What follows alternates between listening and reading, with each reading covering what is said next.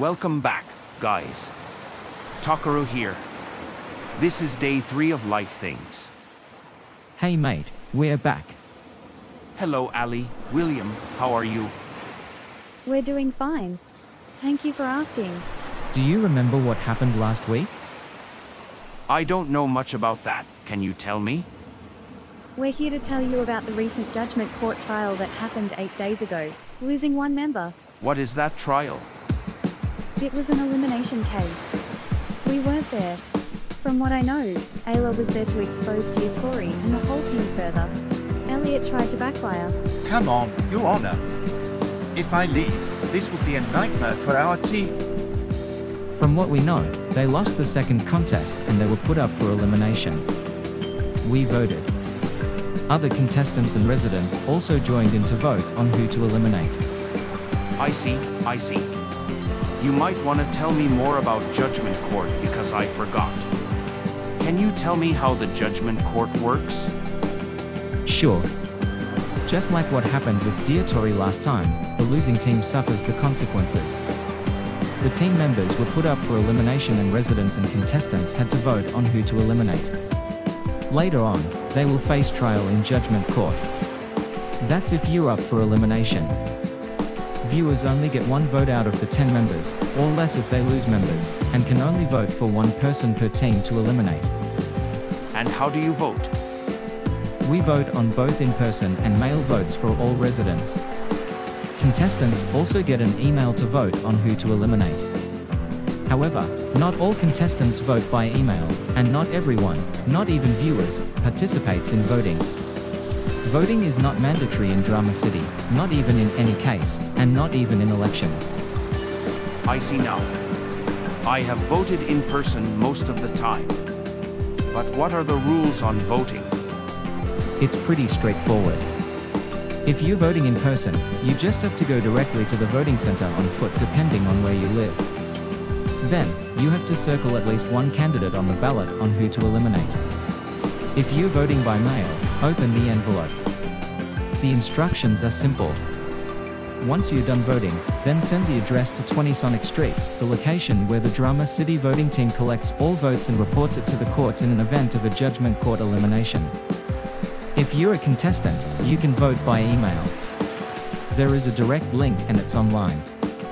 That's also straightforward, you just have to click the link, vote, and send. But you can only vote once. Your email address and details are secured upon voting, and that will be recorded so that your vote counts. And to the viewers, voting is also straightforward. There will be a link in the description on who to eliminate, and sometimes in the comments. However, unlike the contestants and residents, there will be a specified date when votes close, usually three days after a new episode is released. Viewers, I would like to appeal to you to vote whenever you can until the votes close. All viewer votes will be located in Google Forms. Check the link in the description. Also, this episode in this miniseries does not have any voting links so don't expect any. The same applies if there is an event of a rejoin, or debut. Depending on the rules, they may allow multiple votes. Stay tuned. I think that's about it. What do you think? Honestly, there appears to be something missing aside from eliminations, rejoins, or debuts. what is it? The Judgment Court does not just report eliminations, rejoins, or debuts, just like in past seasons. They can also deal with civil and criminal cases.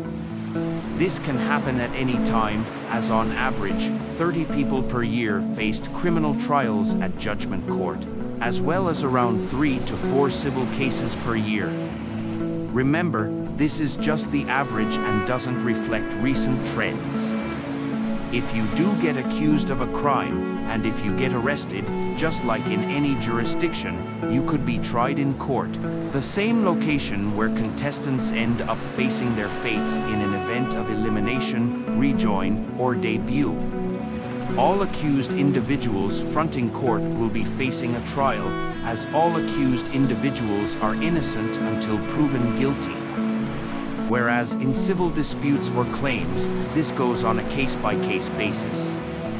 This includes personal injury claims, contract disputes, and property rights. Just like back home. Is there such thing as jury duty here? Although Drama City operates under a common law legal system alongside a customary Drama City law system, there is no such thing as jury duty, not even in criminal or civil cases. It's not existent, and you don't have to be called in for jury duty. I'd like to make a correction here. I only know the judgment court related to criminal and civil cases and not anything related to contestants. Thank you for educating me. You're welcome, mate. Mind if we can take you to the courtroom inside so you'll know more about contestant judgment court trials? Sure thing.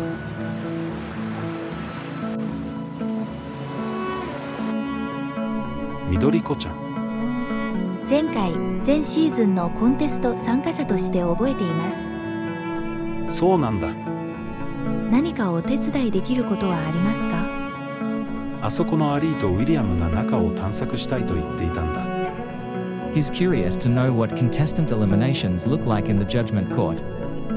You're in the right place.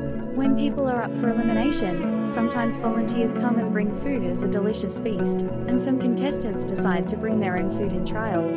You see the table over there where it says Elimination Prevention Ticket Trade? This is where contestants use their tickets before a trial to save themselves from elimination. They have to write their name on the back of the ticket with a permanent marker. Game staff, usually Diego, stands and waits for contestants in case they want to use the tickets. So what's in between these doors? I usually bang the gavel whenever a case starts, or ends, or whenever I control and give orders.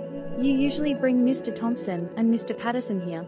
That's just my first time as president. But yes, Josh is the one who usually presides in court cases, whether civil, criminal, or anything related to contestants. The seats on both right and left, this is where contestants usually front elimination. There could be additional seats for contestants facing a debut or a rejoin. In criminal trials, these seats are usually not used. In civil cases, these seats can be used, usually involving two or more parties. And this right here is the speaker's seat. In criminal cases, it's usually the accused, but in non criminal cases, it could be done by any contestant not up for elimination, rejoin, or debut, but these are rarely used in civil cases. Thank you, Ally. William. Don't sweat it, mate. Well, I think it's time for me to go. I have a lot of busy things to do, I'm sorry.